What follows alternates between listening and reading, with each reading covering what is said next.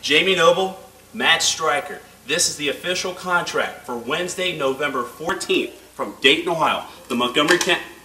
Before he signs anything, won't you let somebody that can actually read take a look at this? Before I was so rudely interrupted. Patrick Black, that looks stupid to you.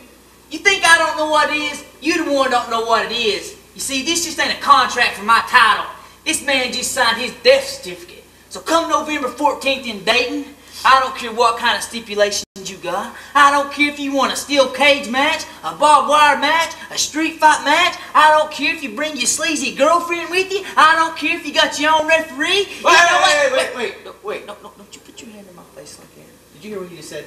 Oh, I certainly did. He said I can pick my own referee. I can make my own stipulations.